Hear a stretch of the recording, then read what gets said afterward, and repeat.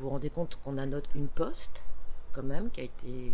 euh, Il y a beaucoup de villages qui n'ont plus ces, ces- lieux. Euh, la mairie, il y a la médiathèque, les écoles, la salle des fêtes.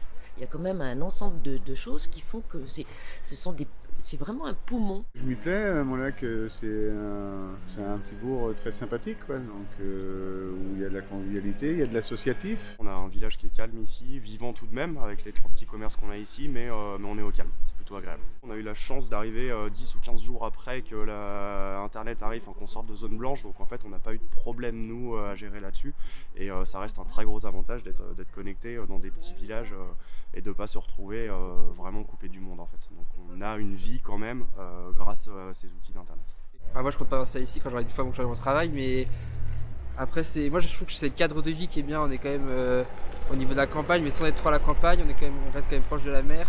Il y a plein de coins de balade avec la forêt et tout, donc je trouve qu'au niveau cadre de vie c'est très bien. Et après on a quand même des petits commerces, même s'il y a de moins en moins, il y a quand même des commerces qui restent pour euh, pouvoir un peu vivre quand même. Les jeunes euh, Molacois restent à Molac.